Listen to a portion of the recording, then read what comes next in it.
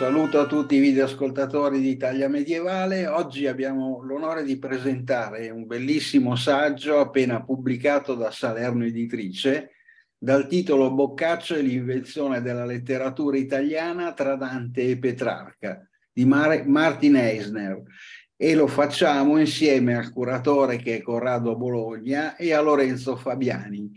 Quindi io come mia abitudine non rubo altro tempo e lascio subito la parola a Lorenzo. Prego Lorenzo, a te. Grazie mille, grazie dell'invito. E, ah sì, oggi presentiamo questo libro di uh, Martin Eisner che, um, come dire, Corrado, Bologna ed io abbiamo curato e uh, tradotto. Allora, partirei intanto da, dal titolo. Il titolo che è um, diciamo, stato tradotto e rappresenta la traduzione letterale del titolo che già l'autore aveva scelto per, in inglese. E uh, mi soffermerei un po' su qualche parola uh, di, di, questo titolo che può davvero introdurci un po' nel, nel cuore del tema, nella, del volume e darci un po' una chiave per affrontare un po' il, questo, il discorso legato a, a questo, a questo saggio. Allora, le parole che vorrei mettere un po' in evidenza sono una nel titolo oh, e l'altra nel sottotitolo. Quindi Boccaccio è l'invenzione della letteratura italiana. E direi che qui la parola su cui fermare un attimo l'attenzione è proprio invenzione. Mm, nella nostra premessa, questo volume, abbiamo un po' ragionato sul modo in cui va inteso questo, questo termine e um, abbiamo pensato che andasse un pochino, anche autorizzati poi uh, dal contenuto del, uh, del, volume ovviamente, andasse uh, inteso nel senso quasi tecnico che questa parola assume no? nella retorica classica, um, laddove l'invenzio va intesa le- in modo leggermente diverso oh, rispetto a quello con cui, eh, in cui la intendiamo normalmente.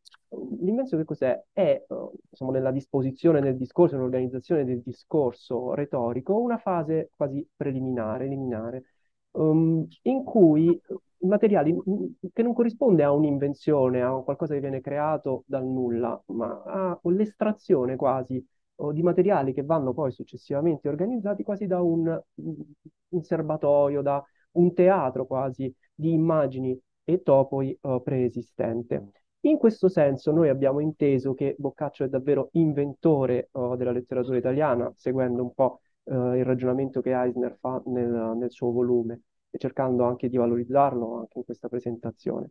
Cioè Boccaccio non, non inventa nulla, ma estrae da una tradizione precedente che è fatta di testi, di autori che lui conosce e ama, una, una linea. Ecco, porta a piena visibilità, ecco questo oh, vorrei dire, un qualcosa che esisteva certamente, ma che, sul quale lo sguardo era uh, sfo- sfocato, oh, direi quasi. E quest'idea che Boccaccio inventa, che trova uh, che in qualche modo riesce a uh, disporre in modo tale da renderla, portarla, come dicevo, a piena visibilità, è proprio il concetto di letteratura, letteratura italiana.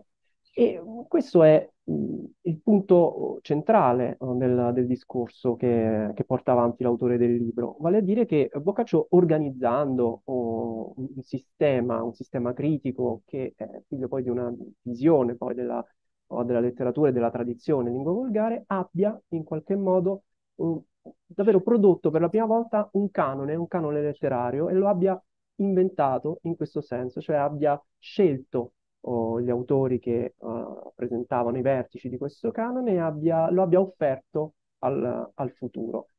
Mm, questo ruolo quindi che assume Boccaccio nella, nella, nella, prospettiva di una storia della letteratura italiana è valorizzato al massimo da Martin Eisner che soprattutto oh, impostando il proprio ragionamento attorno a un codice che poi cercheremo un po' di, uh, così, cercheremo un po' di approfondire uh, questo aspetto, direi Martin Eisner valorizza, come dicevo, questa, questa sua quest'idea ecco, di Boccaccio inventore e lo fa anche uh, tenendo, secondo me, sullo sfondo del suo ragionamento sempre un altro, uh, diciamo, nucleo ideologico, che è quello che emerge dalla lettura del sottotitolo che l'autore ha voluto dare al proprio, al proprio testo, che è Dante, Petrarca, Cavalcanti e l'autorità del volgare.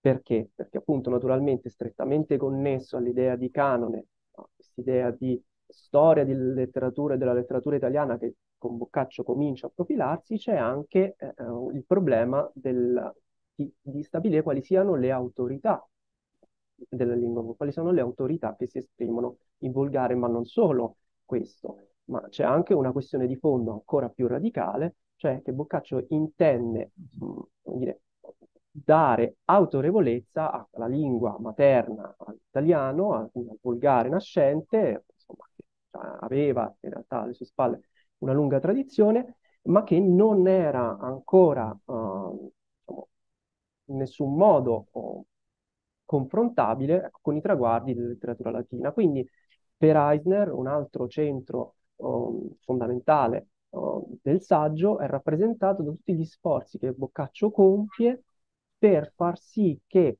nella percezione diciamo, dei, dei, suoi contemporanei, anche dei più dotti, in particolare naturalmente nel suo dialogo uh, a distanza e non solo con Petrarca, emerga uh, il valore della letteratura in lingua volgare e questa letteratura in lingua volgare possa confrontarsi da pari a pari con la letteratura latina, quindi con la tradizione latina. E dunque gli autori dei diciamo, massimi che si esprimono in lingua volgare possono essere messi allo stesso livello dei grandi classici della cultura latina.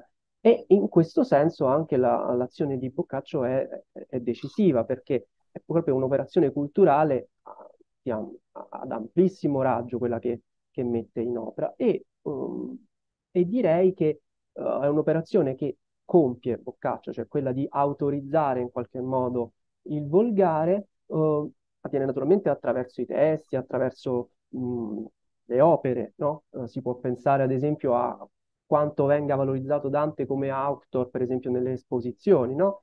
Eh, poi magari ci, ci torneremo uh, su questo punto. Uh, ma avviene diciamo, questo, questo tentativo di Boccaccio di elevare il volgare allo stesso livello del latino anche attraverso operazioni più concrete che um, diciamo, sono legate poi sostanzialmente anche alla sua uh, pratica di editore, editore di testi.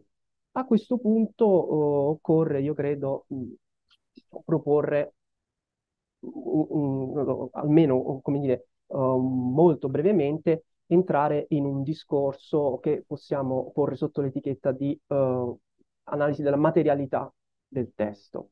Cioè, so, se, ovviamente um, sono cose uh, note su cui insomma, non è, non è, necessario richiamare oltre una certa misura l'attenzione, ma è chiaro che nel mondo uh, precedente all'inizio della stampa a caratteri mobili, naturalmente i testi venivano uh, trasmessi per via manoscritta.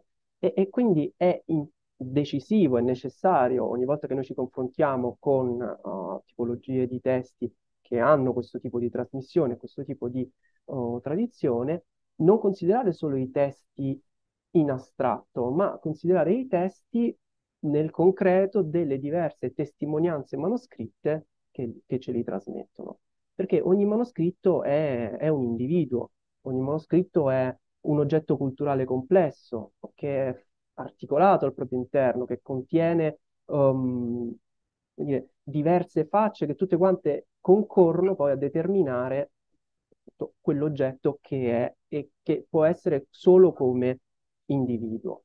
Uh, per cogliere la natura di, que- di, questi oggetti culturalmente molto complessi che sono i manoscritti, basta soltanto richiamare l'attenzione ad alcuni elementi, uh, forse non è il caso di soffermarsi, ma che almeno vanno tenuti un po' presenti nel nostro ragionamento, perché uh, materialmente il manoscritto è, è fatto di, di, un supporto per la scrittura, e già questo uh, che tipo di supporto si, uh, si sceglie uh, o si ha a disposizione per la composizione di un codice, già è, ehm, diciamo, orienta chi oggi osserva quel codice per comprenderlo nel suo mh, contesto culturale, ma poi ancora le scritture, no? Le scritture, ci sono delle scritture che indirizzano chiaramente verso alcuni ambienti uh, socio-culturali, um, o professionali ben precisi, la mercantesca, la cancelleresca, eh, vedere, uh, capire uh,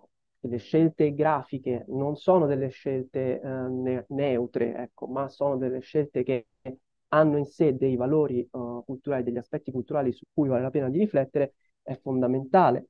E poi ancora l'apparato di decorazioni, uh, gli apparati uh, che possono essere sia calligrafici ma addirittura iconografici, sono tutti elementi che vanno tenuti sotto controllo e insomma insiste molto su, su questo tema per comprendere l'oggetto libro e per capire quale sia l'intenzione che ha generato quel particolare tipo di oggetto libro. Cioè c'è sempre un disegno editoriale uh, alla base di un manoscritto e, e, questo disegno editoriale può avere una maggiore o minore, um, un maggiore o minore grado diciamo, di consapevolezza a seconda di chi sta elaborando eh, il manoscritto in questione. Ora, nel caso di Boccaccio, che è un copista, un assemblatore di libri, uh, e copista non solo di se stesso, ma anche di opere di altri autori, no? E questo lo vediamo a breve, è, è importantissimo, e Eisner, tutto il libro ruota attorno a questo tema, osservare le forme materiali che assumono i testi nei manoscritti, perché già le scelte editoriali di Boccaccio rappresentano la, con, la forma concreta di un'idea, di un, dire, di, un, di un, discorso proprio ideologico. E quindi, uh, sempre nella linea uh, di quello che uh, stiamo, stiamo, del discorso che stiamo affrontando, è importante osservare come Boccaccio, e Eisner lo fa molto bene nel suo libro, come Boccaccio, attraverso anche delle manipolazioni in qualche modo testuali, eh, eh, diciamo, metta la forma libro a servizio di quell'idea che ha, cioè la formazione poi eh, di un canone, in particolare attraverso un codice che è il centro del lavoro di Eisner, che è un codice eh, conservato alla Biblioteca Apostolica Vaticana con segnatura Chigiano L576, di cui adesso parliamo.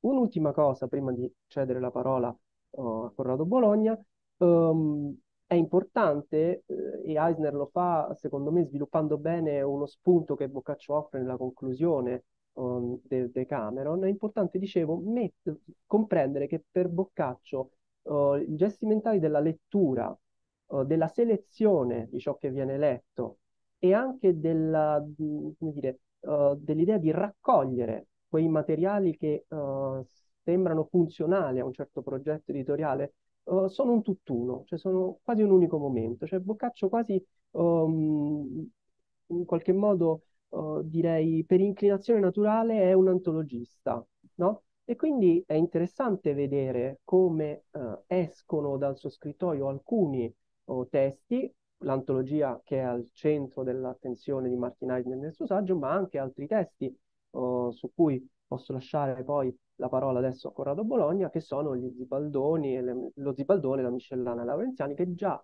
oh, rappresentano un, due esempi proprio di questa tendenza di, che ha Boccaccio appunto a raccogliere materiali, a disporli lungo l'arco di un ragionamento, di una forma mentale che poi diventa anche uh, forma, forma libro. E quindi leggere e leggere, e quindi scegliere e poi collezionare, ovvero raccogliere, sono dei gesti che in Boccaccio formano quasi un, un tutt'uno, e sono, si possono veramente rappresentare un'unitarietà quasi. Ecco. Su questo lascio la parola a Corrado uh, per, per, continuare un po' il nostro discorso e semmai per approfondire o correggere un po' il tiro delle cose che ho detto fino adesso. E le cose molto interessanti che Lorenzo Fabiani ha detto finora, eh, metterei in luce in particolare queste categorie.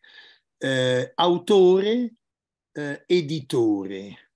Noi siamo abituati a pensare fin dalle scuole a Boccaccio essenzialmente come un autore. Boccaccio è l'autore del Decameron, è l'autore del Teseida, del Filostrato, è un autore improprio, come dire, e cioè colui che come diceva eh, Bonaventura da Bagnoregio, il grande francescano generale dell'ordine a cui si ispira Dante, insomma ci troviamo intorno alla metà del 200, giusto un secolo prima di Boccaccio, eh, è colui che scrive cose inventate da lui stesso. Però prima che autor c'è anche la figura del compilator e dello scriptor, cioè di colui che scrive, lo scriba cose altrui e colui che mette insieme trascrivendole cose altrui. e poi c'è il commentator. Queste categorie Boccaccio le assomma su di sé tutte. Boccaccio è contemporaneamente uno scriba, uno scrivano che copia, vedremo che copierà quattro volte, tre volte la commedia e, e, e, e, altre volte, diverse volte, per esempio, le proprie opere. Non fa che scrivere, non fa che impaginare. Abbiamo sotto gli occhi l'esempio dell'officina di Boccaccio, un'officina materiale. La vediamo proprio in quella materialità a cui Lorenzo Fabiani faceva poco fa riferimento, e cioè vedete per esempio quasi dei calligrammi intorno ai bordi del foglio. Eh, è un disegnatore Boccaccio, un architetto di, eh, di, libri, come ha detto Marco Cursi benissimo. Eh, l'officina del Boccaccio, secondo un paleografo come Zamponi, è proprio un luogo, un laboratorio, un'officina come quella del Fabbro, come una specie di eh, luogo in cui si fonde il bronzo. Vengono scelti e riuniti insieme autori antichi e moderni. Qui abbiamo un esempio degli autori antichi. Il, l, lo Zibaldone, che un tempo si credeva separato in due perché lo è materialmente, ma oggi si capisce che in realtà è stato un unico libro nel quale Boccaccio ha copiato, selezionato delle cose straordinarie in latino, Giovanni del Virgilio, Dante, lo stesso Boccaccio e Petrarca. Tra il 42 e il 44, quando ritorna da Napoli, dove è andato nel 1328, mentre è re eh, Roberto d'Angiò, e lì Boccaccio ha conosciuto eh, Cino da Pistoia, ha incontrato, io penso, Petrarca, ma comunque eh, Petrarca è arrivato proprio nel momento in cui lui stava partendo. Insomma, l'esperienza napoletana è fondamentale in Boccaccio. Ha colto tutta la cultura provenzale, francese e non solo, italiana, novellistica, che era lì e la grande cultura classica che si praticava a Napoli. Con lo zibaldone latino abbiamo un tipico esempio di un'antologia creata a proprio uso in cui però al centro c'è già un canone. Eccolo, Giovanni di Virgilio, Dante, Petrarca e in mezzo si infiltra questa specie di eh, Dioneus, no? questo Dioneo che è un po' ehm, saltimbanco, un poco eh, così, un, un, un, elfo che spunta dappertutto, che è Boccaccio stesso. In questa antologia latina, eh, che è un manufatto unitario, fondamentalmente eh, composto lungo vent'anni, soprattutto Boccaccio raccoglie delle ecloghe, delle ecloghe antiche e moderne. E questo genere dell'ecloga è fondamentale perché nella, come diceva Petoletti, erudizione un po' tumultuosa e disordinata del Boccaccio, l'ecloga lui la vede bene come un genere importantissimo, anche perché praticato proprio dallo stesso eh, Dante Alighieri. Quindi, eh, mettendo insieme una specie di prontuario di retorica e poesia, accosta Dante Alighieri, Giovanni del Virgilio che lo ha sfidato, è un professore bolognese, è uno che vuole fare carriera insomma a Bologna e infatti entrerà nell'università non appena riceverà da Dante la lettera in risposta a, un, a una sua proposta quasi una lettera di raccomandazione. Dante sa bene quello che sta facendo, no? eh, accetta la sfida di questo professorino di provincia, Dante si trova già in Romagna, e una delle ultime opere, se non proprio l'ultima opera di Dante, non è la commedia. Io resisto ancora un poco psicologicamente ad ammettere questo, ma è un'ecloga latina sono quelle quattro ecloghe che si scambiano Giovanni, detto del Virgilio perché era un grande commentatore di Virgilio, che riprende la bucolica, l'ecloga antica e la attualizza. Ecco, le ragioni per cui sia così importante questa ecloga lo mostra la organizzazione interna dello Zibaldone Laurenziano. La corrispondenza tra Giovanni de Virgilio e Dante Alighieri, come vedete, sta proprio messa insieme prima il Carme di Giovanni, la prima ecloga di Dante, la risposta di Giovanni, la seconda ecloga di Dante. E come vedete stanno insieme fra il foglio 67 e il foglio 72, cioè quello che diceva Lorenzo Fabiani un attimo fa è importantissimo, lo vediamo anche nell'immagine a destra, no? la divisione dei fascicoli, l'organizzazione del libro. Noi oggi siamo abituati a prendere un libro come questo che compare in tante copie.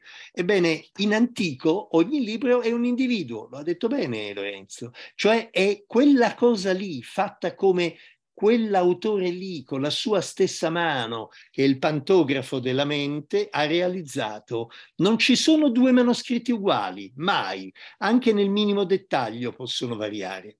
Ma si noti come immediatamente dopo lo scambio di Giovanni de Virgilio e di Dante, che sul modello dell'antico Virgilio fanno le ecloghe nuove in latino, Boccaccio introduca subito Petrarca, le epistole metriche, è un ricordo della sua incoronazione poetica. In sostanza, un primo canone del Dante latino e del Petrarca latino messi insieme c'è già nello Zibaldone latino.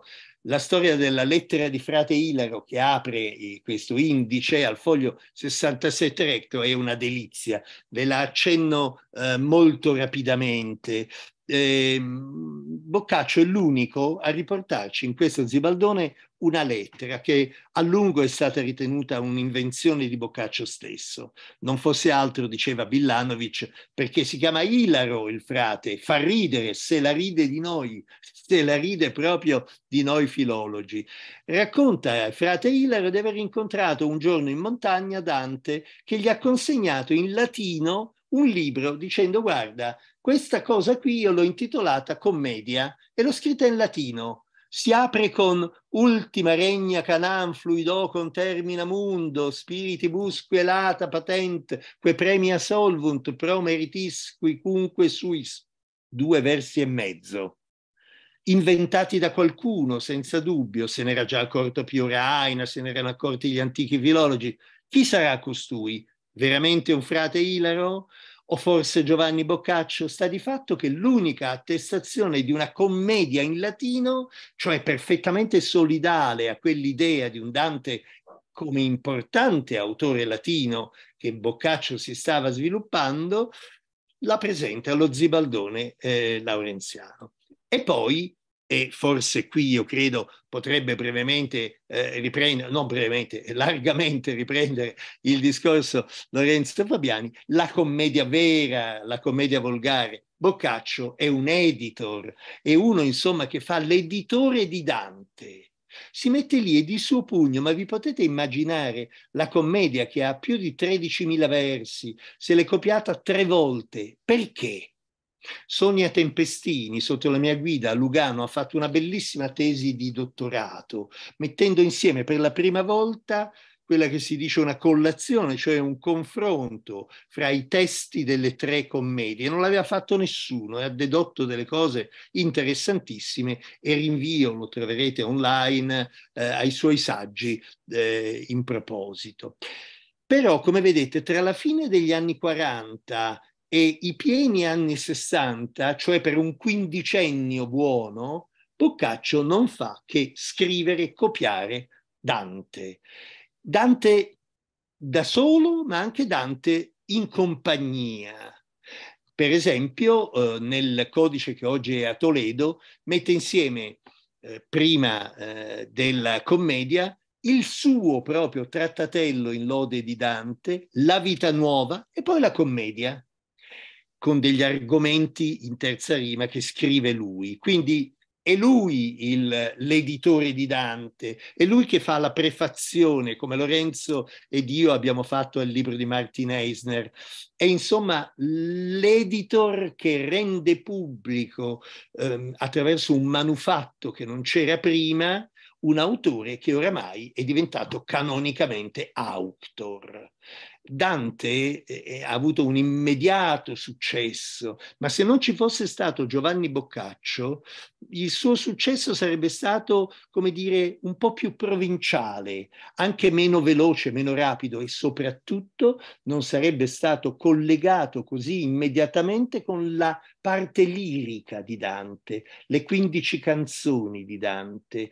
E lo stesso Chigiano, lo stesso Chigiano L sesto 213, era anticamente, ci torniamo sopra, ci torna Lorenzo, collegato con quell'L quinto 276 che invece contiene un'altra parte dell'antologia. Insomma, Boccaccio ha in mente un tutto Dante, tutto Petrarca e un po' di Boccaccio in mezzo.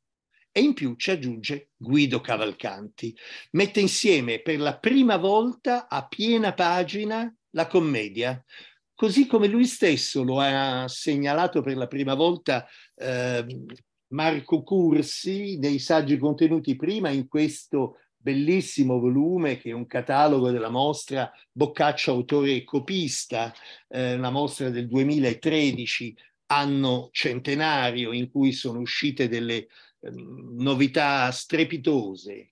E poi lui stesso con questo libro dedicato al Decameron, eh, scritture, scriventi e lettori, che è la storia del testo a partire da Boccaccio stesso e dai suoi autografi fino ai copisti successivi. Però stiamo un momento ancora sulla messa in pagina. Ecco, noi oggi non abbiamo più questa idea della messa in pagina. Prendiamo un libro martinese, lo apriamo e nessuno di noi si accorge che questo libro è messo in pagina, perché tutti i libri sono impaginati sono impaginati secondo regole editoriali eh, che sono previste dall'editor, appunto, cioè in questo caso l'editore Salerno di Roma, o Mondadori, o Inaudi, o Feltrinelli. Ecco, in questo caso invece c'è Boccaccio. Invece di Einaudi c'è Boccaccio. Cioè uno che decide come presentare il libro, sotto quale, quale forma materiale, mettendo insieme come nella pagina i testi e questo ha una valenza importantissima. Per esempio, decidere di mettere la commedia proprio così come la vedete al centro della pagina. Questi sono i tre codici che lui si copia a mano, identici, vedete? Non c'è se non qualche minima differenza nel N lunga, eh, nel codice di Toledo e in quello riccardiano che finisce poi nel codice chigiano che è a destra. Però vedete che è una pagina di grande respiro, di grande campitura, quasi una pagina dipinta, perché sui bordi è previsto che poi si mettano i commenti, cioè che questo diventi un libro di studio, come i classici antichi.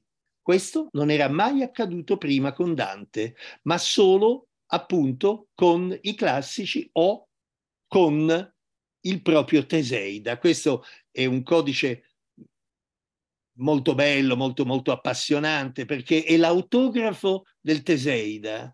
Vediamo questa grande Q iniziale eh, che contiene in sé tutti i, tutta l'ottava, perché Boccaccio è l'inventore dell'ottava, quella che poi con Boiardo e Ariosto avrà una grande fortuna, e subito prima c'è un sonetto e subito accanto al testo c'è un commento, una postilla. Quindi abbiamo in questa pagina due o tre cose fondamentali.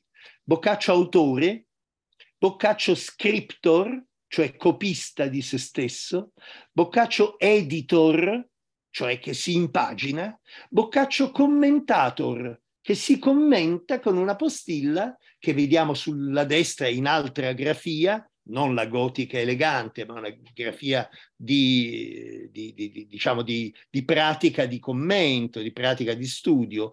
E, e, e diciamo questa fotografia eh, di questo codice oggi in laurenziana è bellissima, importantissima, è tenera, perché è il modo in cui Boccaccio si autocanonizza il suo Teseida, che è il primo forse eh, poema in ottava rima, volgare, eh, è trattato da un punto di vista grafico e editoriale come la commedia di qualche anno dopo. Ecco come il Boccaccio napoletano, che è questo, giovane, siamo insomma intorno agli anni 30 del Trecento, e il Boccaccio che torna a Firenze e dà il meglio di sé e dopo il 48 e la peste nera scrive anche il Decameron, hanno una stessa e unica idea di libro, messa in libro del testo. Ecco, io lascio la parola a Lorenzo proprio su questo. Mettere in libro un testo, dovete pensare, voi che ascoltate e che non siete abituati magari alla mentalità medievale eh, dell'organizzazione di un libro, dovete pensare appunto che facendo tutto a mano non c'è mai una griglia precostituita dalla stampa che riproduce in centinaia, migliaia milioni di esemplari un, un, certo testo. Qui il testo coincide col libro che porta quel testo, cioè ci presenta la sua forma. Immaginate di levare questa Q maiuscola, così elegante, eh, quante può fare il tempo, eccetera, eccetera, e immaginate di impaginarlo diversamente. Capirete quanto cambi la ricezione dell'immagine del testo. Allora il testo diventa anche l'immagine visiva, figurativa di se stesso e ciò avviene, eh, Eisner lo, lo segue bene, per la commedia, per Petrarca e anche per l'opera dello stesso Boccaccio poco prima. Lorenzo. Allora, mi eh, riprendo un po' il discorso da dove lo ha lasciato Corrado e lo faccio, um, se posso, citando qualche riga uh, che, che, viene citata da Eisner uh, nel suo libro e che Eisner riprende proprio da Petrucci, uh, che è un grandissimo paleografo che a lungo si è occupato di tutte le questioni che abbiamo un poco accennato. E Petrucci, riferendosi proprio alle pratiche diciamo, grafiche ed editoriali eh, di Boccaccio, scrive appunto che sembra che Boccaccio tenti consapevolmente di innalzare i manoscritti che contengono i testi in volgare a livello di dignità che ha il modello dominante della produzione libraria del tempo, cioè il libro da banco in textura gotica, con tutti i suoi attributi fisici e simbolici. Direi che no, possiamo chiudere un po' quanto abbiamo detto e, e portarci avanti con il discorso con queste parole, cioè eh, gli attributi fisici e simbolici del libro. È fondamentale, Corrado Bologna lo ha detto molto bene, un libro nella sua impalcatura grafica è un oggetto che è simbolico e dunque, per esempio, rappresentare la commedia su un'unica colonna, in quella grafia che abbiamo visto, nei, nei manoscritti che abbiamo oh, poco fa mostrato, ha un alto valore simbolico, cioè significa oh, elevare Dante al modello degli scrittori classici e eh, così facendo aprire un nuovo canone, un canone che dialoga con quello della classicità, ma che è un canone eh, che parla uh, la, lingua, la, lingua, volgare. Un'altra cosa che uh, è emersa dalle parole uh, di Corrado Bologna mh, ha a che fare anche con la laboriosità delle operazioni che mette in pratica Boccaccio. Cioè Boccaccio ritorna continuamente sui testi, l'abbiamo visto copia la commedia tre volte, e, questo significa un enorme uh, investimento di tempo, uh, di risorse, mm, insomma, una devozione assoluta verso, uh, verso Dante, come, come, è noto, ma che si vede quindi anche attraverso queste, queste tracce che sono materiali. E questo continuo tornare oh, sui, sui, libri, sui testi, su, oh, sulla loro organizzazione oh, è ben messo in evidenza da Martin Eisner proprio con un'osservazione uh, puntuale della struttura materiale che contraddistingue oggi il manoscritto che è al centro del suo studio, che è appunto il manoscritto chigiano L576, che come diceva uh, prima uh, Corrado Bologna, non ha sempre avuto la fisionomia con la quale ci si presenta oggi. era un manoscritto che originariamente rispondeva a quel modello di tutto Dante che abbiamo già visto essere messo in pratica da Boccaccio uh, in, in, altro, in, altri momenti. Uh, ma cosa è successo? Ecco, che cosa si è determinato? Perché allora il manoscritto non appare più oggi ai nostri occhi così come inizialmente era stato pensato da Boccaccio? Perché Boccaccio, anche se poi insomma il tema Uh, potrebbe essere un po' approfondito perché uh, le vicissitudini di questo, di questo, manoscritto sono state variamente interpretate uh, dai, dai, filologi, dai paleografi, dai, da chi si occupa di codicologia. È probabile però, e l'idea di Eisner poi in fondo è quella che sia stato Boccaccio stesso a determinare un riassetto complessivo di quel volume che un tempo era tutto Dante, ma che poi comincia ad accogliere dei materiali uh, esterni, comincia ad accogliere cogliere, lo mostra molto bene Eisner che segue no, tutte le fasi redazionali di questo e le ricostruisce anche attraverso degli schemi che aiutano proprio immediatamente a, a, a visualizzare il, a, quello che accade, uh, comincia con l'aggiunta di Petrarca. Cioè, uh, comincia con l'aggiunta di alcune poesie di Petrarca che vengono um, annesse in coda al volume, che ancora presentava la commedia di Dante, incastonata tra la vita nuova e, um, e il Carme Italia Iam Certus Sonos di, di Boccaccio.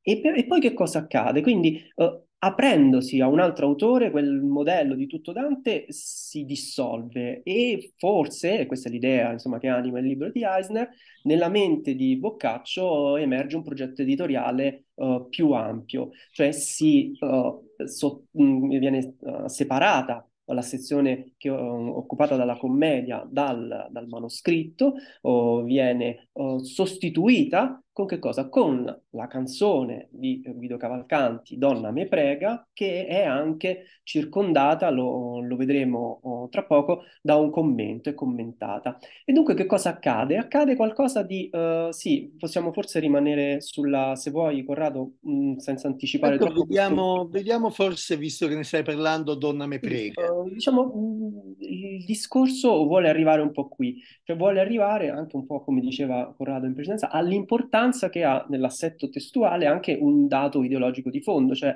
uh, il rapporto tra il testo e il commento. Già um, Corrado Bologna lo metteva in luce bene uh, per quanto riguardava l'opera autografa di Boccaccio che si fa commentatore di se stesso, ma nel manoscritto chigiano che Eisner analizza um, viene messo in luce molto bene dall'autore del saggio come la, il dialogo fra i testi e i commenti costituisca e che Boccaccio instaura e che vuole rendere visibile il più possibile, proprio organizzando la pagina per fare in modo che risalti oh, questo dialogo no? tra i testi e il commento. Perché fa questo? Insomma, il discorso sarebbe andato poi comunque naturalmente lì. Perché Boccaccio, ricordiamolo, aveva in mente di eh, proporre appunto un volgare che avesse un'autorità paragonabile a quella che avevano i classici latini. E allora è proprio sul ruolo della glossa del commento che si gioca, che, che Boccaccio insomma insiste, perché i testi uh, diciamo volgari finalmente hanno, a partire da Dante, sostanzialmente per Boccaccio comunque Dante rappresenta il, l'inizio di questa, di questa, nuova tradizione uh, così um, così stratificata dal punto di vista semantico, ecco appunto i testi in lingua volgare devono essere commentati perché hanno una molteplicità di sensi, hanno raggiunto una complessità tale uh, che hanno bisogno del commento. E... Lorenzo, lasciami intervenire un, un, momento solo su questo punto. Chi sta guardando questa immagine vede Donna me prega perché io voglio dire al centro della pagina che Boccaccio costruisce e sui bordi eh, c'è Dino del Garbo, un commentatore di cui questo è l'unico esemplare che noi abbiamo, cioè Boccaccio è anche un trovatore eh, di roba buona, è un, è un, è un cacciatore di, di, di, funghi preziosi, è un cacciatore di tartufi. Lui trova il commento in latino di Dino del Garbo e lo copia intorno a Cavalcanti. È l'unico esempio che noi abbiamo di questo testo, che si sarebbe perduto altrimenti. Ma qualcuno di voi che sta seguendo avrà in mente qual è il testo canonico in assoluto che ispira tutta la tradizione medievale e ancora Boccaccio qui è quello della Bibbia evidentemente, è il testo biblico, il testo canonico per eccellenza, che veniva costruito con pochi versi, versetti al centro della pagina e quelle che venivano chiamate le catene lungo i bordi, che incatenavano il testo e che poi come catene venivano costruite nella copia l'uno dell'altro. Lorenzo, ritorna pure tu eh, dove eravamo poco fa. Allora, sì, eravamo, poi se vuoi scendere ancora nella diapositiva successiva e forse ancora oltre, anche dopo questa, ecco, mm, possiamo fermarci alla precedente se non ti spiace, Corrado. Mm, quindi qual è un po' il discorso? E abbiamo visto bene, e lo vedremo anche attraverso altri esempi uh, che tra poco uh, mostreremo dal manoscritto, perché credo che il dialogo con le immagini sia quanto mai necessario in un tipo di presentazione di un saggio che ha uh, al centro un manoscritto, uh, c'è come abbiamo insomma, visto prima uno snodo, uno snodo importante. Uh, Boccaccio lo dice molto spesso, insomma, insiste su questa, su questa immagine Eisner nel suo libro, si fa mediatore. Allora, diciamo, Boccaccio vuole costruire una nuova tradizione, uh, perso il... vuole costruire una nuova uh, tradizione um, del, della letteratura in lingua volgare e vuole farlo naturalmente saldando quelli che sono per lui i massimi autori, gli autori che sono in dialogo poi sostanzialmente oh, fra loro, un, un, dialogo che viene sollecitato da Boccaccio stesso e questi due autori sono naturalmente Dante, Dante e, e Petrarca. E allora uh, che, cosa, che, cosa, accade? Che con, il, um, diciamo, con un carme attraverso il quale Boccaccio dedica a Petrarca il libro e soprattutto, uh, come dire, anche l'idea sostanzialmente vuole rendere Petrarca partecipe dell'idea che questo libro, questa nuova antologia, no? questo libro che è diventato un'antologia che, tende, che vuole canonizzare i grandi autori della letteratura, um, ecco, vuole offrirla, intendevo dire, a um, Petrarca attraverso questo Carme latino che mette in evidenza alcune cose su cui Eisner ragiona molto e bene, uh, che sono sostanzialmente queste, le mettiamo un po' in evidenza. Cioè, Dante è quell'autore prima del quale nessuno ha fatto hm, o nessuno è riuscito a raggiungere vette simili parlando in lingua volgare. Quindi Dante è qualcuno che oh, inaugura una tradizione, ma appunto stiamo attenti a quell'ante, cioè vuol dire che naturalmente quando... Verso verso, ante, verso, verso, verso quando, esatto, quando Boccaccio dice che nessuno prima di Dante ha mai fatto qualcosa del genere, naturalmente offre uh, da un lato anche il segno della continuità, cioè sarà poi Petrarca che dovrà raccogliere uh, e che accoglie- e raccoglierà uh, questa eredità. E poi c'è un altro punto che eh, secondo me è decisivo e che, su cui Eisner um, diciamo, spende uh, molte pagine e che ha a che fare proprio con il rapporto tra latino e volgare, perché appunto Boccaccio è un po' il punto di equilibrio in questa dinamica latino-volgare fra Dante e Petrarca, uh, perché appunto vediamo che gli ultimi versi uh, diciamo, sono un invito uh, a Petrarca ad accogliere il testo di Dante, un testo impensato, impensabile prima di Dante stesso, e che ha altissimo valore non, e che deve averlo anche agli occhi di Petrarca, nonostante, ecco, nonostante sia in lingua volgare. E, e quindi questo è centrale, è importantissimo naturalmente per lo sviluppo del, del ragionamento di Eisner, perché Uh, è qui che si gioca un po' quel ruolo di mediazione uh, a cui facevo cenno anche prima, che è, svolto da, che è svolto da Boccaccio, non solo mediatore tra Dante e Petrarca, ma anche mediatore tra l'autorità de- della lingua latina e la nuova autorità che va costituendosi della lingua materna, eh, che Dante uh, è, è, il primo a usare con una profondità, come diceva agli occhi di Boccaccio almeno, una profondità tale da diciamo, costruirsi sul modello di quella sc- scrittura polisensa che è la scrittura, la Bibbia, no? E, e, in questo senso, se possiamo anche scendere forse con la uh, diapositiva. Lorenzo, uh, io perdonami, eh, sì. Vorrei citare poche righe di Eisner proprio. Certo. Ah, su questa pagina, vedete bene come questa pagina sia eh, voluta nella sua brevitas, nella sua compattezza architettonica è una facciata che si inserisce fra Dante e Petrarca materialmente e immaginatevelo, Boccaccio che sta componendo la sua antologia Monumento, è un monumento alla poesia moderna, in cui lui stesso si interpone come mediatore, con un testo in latino, fra Dante volgare, Petrarca volgare, lui, Boccaccio, con una poesia in latino in cui dice a, a, Petrarca, che è già stato incoronato poeta a Roma e lui lo sa e lo ha esaltato, eccetera, dice continua tu, accogli quest'opera di Dante che è gradita ai dotti ma anche dal volgo e continuala tu, non ti limitare all'Africa, ma esalta con il canzoniere che infatti copia immediatamente dopo Boccaccio, esalta con il canzoniere questo nuovo modello volgare. Ecco, questa pagina così nella sua eh, ovvietà un po' vanitosa, diciamo, no? È un po' vanitoso Boccaccio, si vuol mettere lì in mezzo, eh, ai piedi del monumento, immaginatevelo in bronzo come il monumento della porta di Rodin, no? Eh, la porta dell'inferno di Rodin, di qua Dante e Cavalcanti, di là Petrarca e in mezzo a unire i due Boccaccio che prende come nell'immagine di eh, come in questa immagine di Vasari che sta proprio sulla copertina del testo inglese e di quello italiano, eh, Boccaccio che unisce, per così dire, lo vedete, Dante e Petrarca. Petrarca, eh, su invito di Boccaccio che gli sussurra all'orecchio, indica col dito Dante che sdegnoso guarda in viso. Eisner scrive queste parole, bellissime.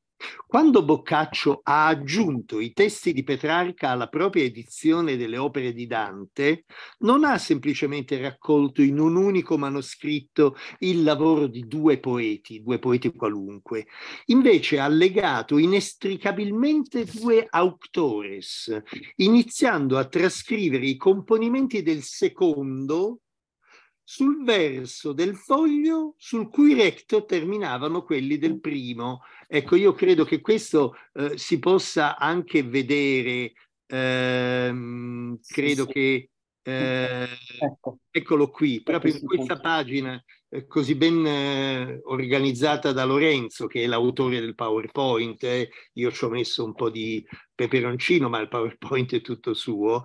Bene, qui vediamo, vedete, a sinistra finiscono le canzoni liriche di Dante e nella facciata successiva, come se girassimo proprio, no? Qua il recto e qua il verso, incomincia il rerum vulgarum fragmenta, che vi segnalo sono una forma editoriale unica, cioè noi la chiamiamo la forma Chigi perché è contenuta nel Chigi 176. Petrarca ha dato a Boccaccio da copiare un suo autografo e non l'abbiamo più quel libro. Abbiamo invece la copia che ne ha tratto Boccaccio. Poiché sappiamo dall'autografo di Petrarca che verrà un po' di anni dopo, come Petrarca impagina i suoi testi e come li organizza graficamente con una eh, ossessiva capacità ingegneristico-architettonica, sappiamo che la pagina che abbiamo davanti è una copia fedele di Giovanni Boccaccio dell'autografo di Petrarca, che noi non abbiamo più perché quello che abbiamo è di anni successivi ed è un'altra edizione. Ecco, continuo con Eisner. Copiando i testi di Petrarca e di Dante su un solo foglio di pergamena, davanti e dietro, Boccaccio include l'autore del canzoniere nel proprio discorso sull'autorevolezza del volgare. I Fragmentorum Liber, cioè eh, il canzoniere di Petrarca, dimostra infatti che anche il poeta laureato, che Boccaccio ha chiamato Italia iam certus homos, oramai sei l'onore d'Italia, sicuro, tu Petrarca laureato, aveva avuto cura di raccogliere i propri componimenti in volgare. Ecco allora che Boccaccio per primo raccoglie, almeno per quanto ne sappiamo noi, raccoglie le poesie liriche di Dante, eh, si trovano a fatica delle testimonianze più antiche di Boccaccio. Il grandissimo filologo Michele Barbi dedicò a questo degli studi molto belli, gli studi sul canzoniere di Dante che chi è interessato troverà, eh, li ho fatti ripubblicare in anastatica dalle, dalla società dantesca italiana con una mia prefazione. Però, insomma, l'idea di fondo è Dante non ha mai fatto un canzoniere, non ha mai raccolto le proprie poesie liriche. Lo fa Boccaccio per lui. O comunque Boccaccio prende una tradizione e la aggiusta. Però invece da Petrarca prende la composizione del testo voluta dallo stesso autore, suo intimo amico oramai. Quindi non è chi non veda come Eisner ha messo il dito al centro di una questione esplosiva, di potenza eh, epocale, no? epistemologica, grandissima. Non è soltanto un libro in cui Boccaccio per proprio uso si raccoglie le poesie, ma è un libro che fa canone, cioè mette insieme un'antologia scolastica, diventa un libro di scuola con un solo scolaro che si chiama Giovanni Boccaccio. Lorenzo. Bene, allora su questa immagine uh, quello che possiamo forse fare ancora è tornare un poco indietro o se si vuole ancora di una, ancora di un'altra. Ecco, forse alla, ecco, no, no, alla successiva. Scusa Corrado che ti chiedo. Ecco. Mm, a proposito di questo boccaccio che eh, si fa a scolaro, ma eh, non rinuncia neanche però a, a svolgere il ruolo di chi fa l'antologia, um, una cosa che um, io credo sia anche un valore del libro di Eisner um, è, a, è, fare attenzione proprio a tutte le pratiche editoriali che mette uh, in campo um, Boccaccio, proprio per raggiungere quei fini che lungamente abbiamo, abbiamo discusso. Ce ne sono alcune di queste operazioni che sono particolarmente, um, quasi vorrei dire, violente, ecco, usando un po' la parola, insomma, con un'accezione un po' chiaramente metaforica, però che cosa accade ad esempio uh, uh, ai testi di Dante che passano per le mani di Boccaccio, come diceva prima uh, Corrado Bologna? Ad esempio ne escono trasformati, cioè che cosa accade? Accade che Boccaccio si sente um, anche, come dire, ah, assume delle decisioni di appunto da editore uh, che portano alla modificazione, alla trasformazione dei testi per come lui li aveva ricevuti. Cioè, il discorso è che Boccaccio riceve i testi in un certo modo, o li trasforma e li restituisce al futuro in un altro. Tant'è vero che spesso si sente parlare proprio della funzione Boccaccio eh, in campo oh, diciamo, letterario, cioè Boccaccio trasforma la tradizione che passa attraverso le sue mani e ce la riconsegna in modo diverso. Una cosa che fa, ad esempio, e che è notevole, insomma, se ci si pensa, è intervenire sul testo della vita nuova e oh, sottrarre diciamo, alcune parti o del, del testo alla loro continuità, quindi interviene sul livello, opera dei tagli e uh, toglie, scorpora sostanzialmente uh, quei punti in cui Dante riflette sulle proprie poesie, quelle che lui chiama le divisioni. E queste divisioni, che a Boccaccio sembrano non inserirsi perfettamente oh, nel flusso narrativo che contraddistingue il prosimetro oh, di Dante, oh, le prende e le porta fuori testo, cioè le trasforma in glosse, no? come quelle glosse che abbiamo visto circondare il testo di Donna me prega, che però erano di Dino del Garbo. In questo caso Boccaccio coglie nel testo di Dante un, un testo e all'interno anche un commento al testo, ma questo commento lui sceglie di uh, estrarlo dal, dal testo, dalla continuità del testo e di porlo al margine della pagina. Per nel fare questo, lo vedremo magari nella prossima diapositiva, restando un attimo però su questa, uh, restando sulla precedente, scusa Corrado, dà una giustificazione uh, del, del, del, suo, del, suo, agire. Cioè fa quella che Eisner dice forse la prima nota critica, la prima nota editoriale della storia della letteratura italiana perché Boccaccio giustifica il suo modo di procedere. Molti si meraviglieranno, dice Boccaccio, di vedere in questo modo manipolata l'opera di Dante, ma io credo che appunto qui sono, si possono leggere oh, le parole di, oh, di Boccaccio stesso, oh, che ci sono dei punti dell'opera di Dante, detto in estrema sintesi, che è meglio scorporare, cioè presentare come commento, perché di fatto sono commento. E allora, se possiamo andare alla, alla diapositiva successiva, vediamo che a un certo punto ci sono dei brani della vita nuova che vengono tolti dal continuum testuale e uh, dislocati uh, al margine della pagina, come se fossero delle glosse, ma che sono glosse d'autore. Cioè Boccaccio che ha deciso che quelle sarebbero diventate glosse. E questa idea di glossare uh, il, testo, il, testo, volgare naturalmente si connette con quanto abbiamo detto prima, cioè la glossa co- dà autorità al testo, perché un testo che ha bisogno di una glossa è naturalmente un testo polisenso, un testo che si piace ai dotti e agli illetterati, ma del quale gli illetterati colgono soltanto alcune sfumature, uh, restando però al di qua per quanto riguarda invece la vera, il vero significato mh, allegorico appunto del testo. Um, un'altra cosa che potremmo notare che Eisner mette bene in luce e secondo me vale la pena un po' di valorizzare anche in quello scambio, come si uh, diceva, di dare e avere no? tra Dante uh, e Petrarca per mezzo di Boccaccio, ma anche tra Petrarca e Boccaccio per mezzo di Dante, che cosa accade qui? Che la vita nuova, che naturalmente si costituisce di due parti, a un certo punto no?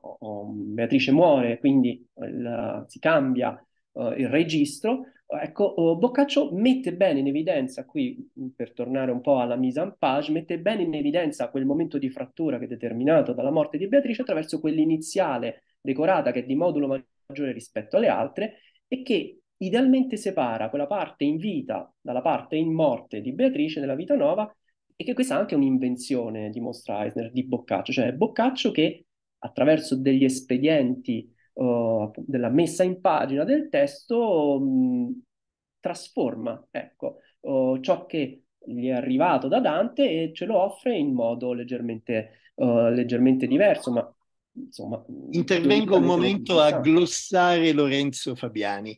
Eh, noi moderni non abbiamo l'abitudine a a immaginarci l'importanza di questi dati grafici, perché noi comperiamo un libro in libreria e questo libro è stato completamente messo in piedi da un editore. Ma vedete, eh, in un libro, sfogliandolo normalmente, non c'è alcun elemento che distingua le parti, come Lorenzo ci sta mostrando, mentre nel libro che abbiamo sott'occhio in questo istante, cioè La vita nuova con la glossa marginale, con le rubriche spostate, messe in luce, con una certa violenza da Boccaccio, perché Boccaccio sta invadendo il testo di Dante, che oramai è morto da 30 anni, e sta diventando eh, eh, la stella polare di tutta la letteratura e Boccaccio lo adora, se ne vuole però contemporaneamente appropriare.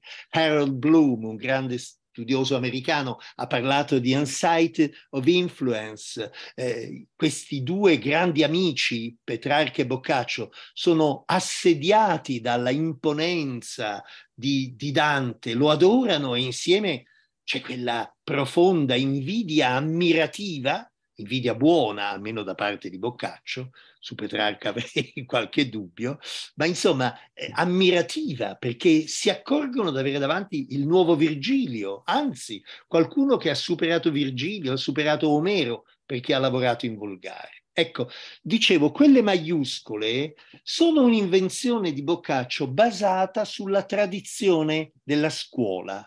Boccaccio è un uomo di scuola, dicevamo fa lo scolaro, è uno che va all'università, ecco, e, e, ha studiato anche con Cino da Pistoia e quindi lui sa bene che per cogliere l'attenzione del lettore, un po' come noi stiamo facendo eh, con l'ascoltatore, attiriamo l'attenzione sua materialmente su un punto della pagina. Vedete quella pagina, vedete quella S, quella A, eccetera, eccetera. In quel momento si stanno snodando, si stanno articolando dei luoghi del testo. La stessa cosa Boccaccio la fa sul Decameron autografo che oggi è a Berlino nel codice hamiltoniano.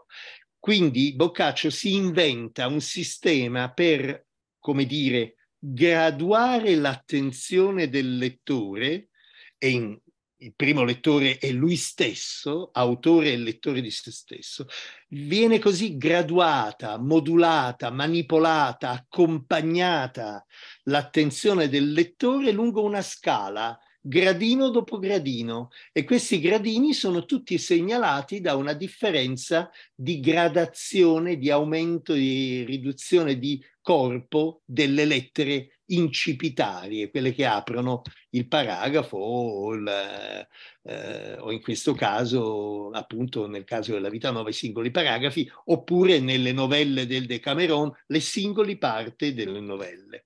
Lorenzo, possiamo avviarci alla conclusione forse? Esattamente, sì, sì.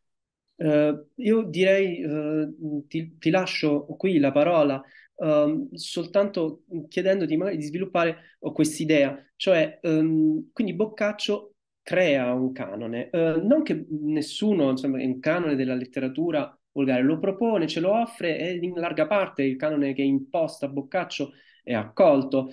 Mm, e però va detto, naturalmente, e anche Eisner lo fa nel suo volume, che non è certamente Boccaccio il primo a sentire questa esigenza, cioè di porre lungo una linea, diciamo, storico-letteraria uh, tutti i prodotti uh, che, mh, mm, che, sono emersi eh, in lingua volgare. Uh, questa è un'esigenza che sente già Dante, il Dante del De Vulgare Eloquenza, ad esempio, no? che già crea il proprio canone, ma lo farà anche nella commedia, evidentemente questo, questo, ragionamento sui predecessori c'è sempre. Um, e, e, ci sarà, e adesso ti lascio la parola su questo, eh, su cui poi eh, possiamo chiudere, anche naturalmente in Petrarca, questo, questo, pensiero, questo pensiero di come uh, raccogliere i testi della tradizione, come disporli lungo una linea.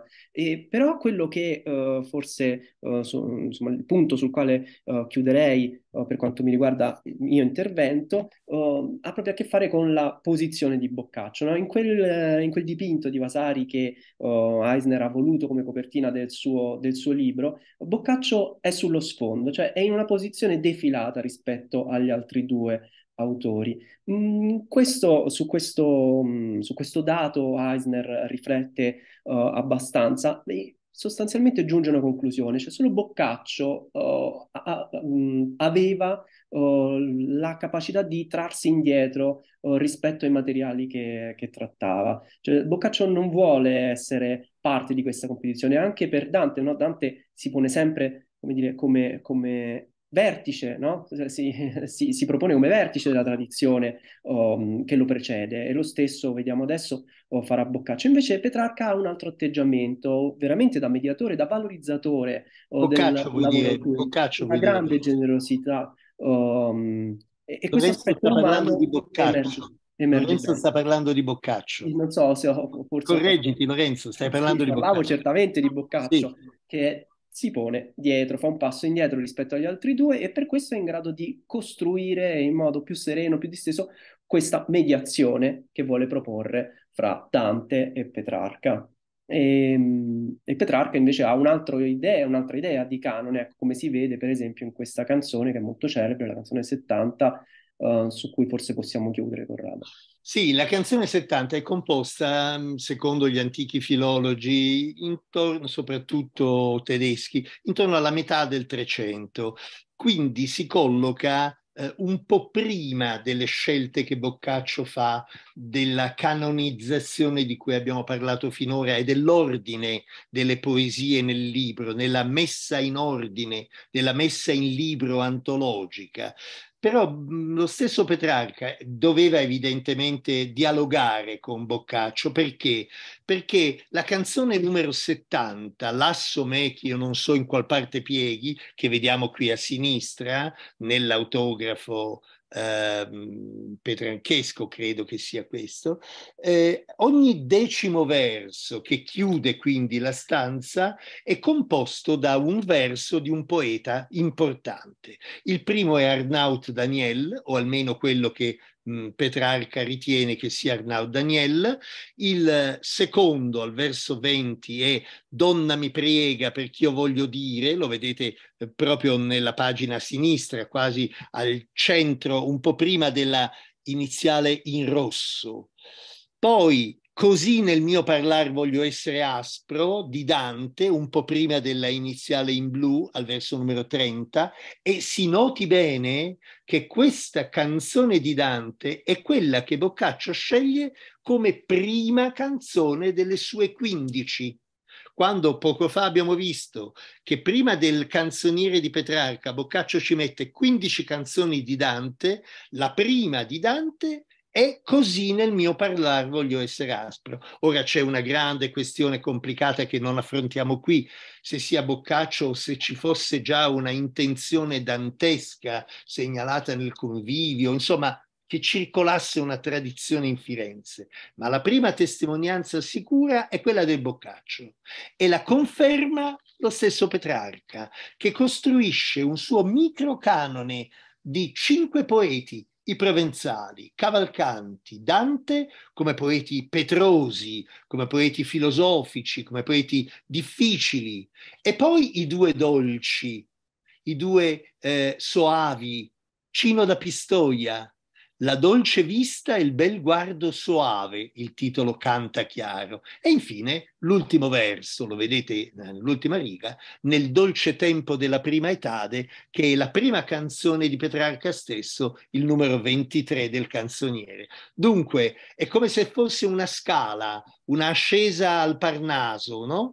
Si incomincia dai provenzali, difficili, eh, ardui, Arnaut Daniel, l'inventore della sestina, che Dante ha messo alla fine del ventiseiesimo canto del Purgatorio come il miglior fabbro del parlar materno. Petrarca conosce la commedia di Dante che gli ha fatto conoscere Boccaccio. È un intrico meraviglioso, è un annodarsi di esperienze umane, eh, scientifiche direi quasi, e culturali che tocca le vette assolute della nostra cultura. E allora vedete che i primi tre, Petrosi e Aspri, e gli ultimi due, stilnovisti, diciamo così, no? Eleganti, soavi, dolci, eccetera. Bene, eh, tutto ciò è eh, come dire, mediato da questo eh, un po' cicciottello, simpatico, eh, che si mette da un canto, ma è consapevole del proprio genio, Giovanni Boccaccio. Siamo proprio alla conclusione. Ma vogliamo, caro Maurizio, ringraziandola ancora una volta di questa bella occasione che ci ha offerto, e speriamo che Martin Eisen e altri la possano vedere anche in America e in altre parti del mondo, vogliamo chiudere con una strana pagina. Questa è l'ultima pagina della commedia che oggi si trova a Toledo, che è la prima delle tre che Boccaccio ha copiato. Un piccolo fulmen in clausola, una piccola sorpresa per voi ascoltatori che non siate specialisti, perché gli specialisti oramai la sanno. Vedete, oggi se si va a Toledo, questo è quello che appare. Se guardate in alto, vedete che c'è scritto Poeta Sov, no? pagine completamente bianche, ma Marco Cursi, eh, il maggiore specialista di Boccaccio che abbiamo, autore, lo ripeto, di questo meraviglioso libro apparso da Viella, eh, Marco Cursi, insieme con dei collaboratori, un giorno andò in Spagna, a Toledo, aveva già visto questo libro tante volte, ma disse, ma come mai quelle lettere poeta Sov? E guardando bene, eh, si accorse che sotto doveva esserci qualcosa e fece un'operazione che è la stessa che fanno ehm, alla Conad o alla Coop eh, le commesse che mettono la moneta da 50 euro sotto i raggi ultravioletti per vedere se c'è la filigrana. Fece questo, ci mise una lampada di wood questo signor Wood eh, ha inventato una lampada e guardate cosa venne fuori. Vedete in alto poeta Sov? Riguardatelo adesso. Questo è quello che si vede a occhio e questo è con la lampada a raggi ultravioletti. C'era un disegno meraviglioso. E allora incominciarono a capire, a studiare, a cercare, ma chi è questo signore? E poi vedete bene che sotto il disegno ci sono delle lettere ci hanno messo un anno Marco Petoletti e un altro suo eh, collega a capire e a trascrivere lettera dopo lettera sotto questo meraviglioso ritratto, probabilmente di mano di Boccaccio. Chi è? Forse è Omero, poeta sovrano, Ecco come si interpreta quel poeta Sov, con il verso con cui nel quarto dell'inferno Dante esalta il primo grande poeta di ogni canone, Omero poeta sovrano. Accompagnandolo, Virgilio entra insieme a Dante in questo gruppo dei poeti antichi ed è come se in questo momento Boccaccio, finita di copiare la commedia, avesse avuto un'idea quasi di fare una specie di frontespizio nell'ultima pagina, quasi un disegno in onore di Dante, che la corona d'allora non l'ha avuta mai, a differenza di Petrarca sul Campidoglio. E allora questo Omero, poeta sovrano, che ha la, vedete bene, corona d'alloro, è un Dante Omero, poeta sovrano, disegnato di suo pugno da Giovanni Boccaccio, che è noto, era un disegnatore meraviglioso. Subito sotto Marinelli, Tempesta e Petoletti hanno tratto queste lettere che vedete sotto il disegno, si intravedono così, no? Palamente, e le hanno trascritte. Vi ho detto, ci è voluto un anno per capire una lettera dopo l'altra con la lampada di Wood e c'era scritto Johannes de Certaldo Pinxit con caratteri greci. È un giochino come quelli che si facevano a scuola, chi non lo ha fatto, no? di mettere il proprio nome appena si imparava l'alfabeto greco al liceo classico, si scriveva, eh, non so, Corrado Bologna, Lorenzo Fabiani, Maurizio, insomma, ognuno si scriveva il suo nome con le letterine greche. Così ha fatto Giovanni Boccaccio, sotto il ritratto di Dante, che incarna Omero, poeta laureato, e c'è scritto io l'ho dipinto, io sono Giovanni da Certaldo, cioè Giovanni Boccaccio. E chiudiamo proprio con piccola, un piccolo fulmine a ciel sereno. Marco Cursi ha studiato un libro che è a Venezia, alla Biblioteca Marciana, in cui Petrarca e Boccaccio, amici, insieme, come vedete lo studio è molto recente, di 5-6 anni fa, 7 anni fa oramai, questo libro è stato scritto da Leonzio Pilato, che era un signore, diceva Petrarca, un po' puzzolente, si lavava poco, era un meridionale, insomma lo trattava male con la sua altezzosità. Mentre Boccaccio, che era molto più alla mano, prese Leonzio e gli disse, Leonzio, insegnaci il greco. E allora abbiamo questa straordinaria scoperta recente che era già stata fatta, ma viene perfezionata oggi da Cursi.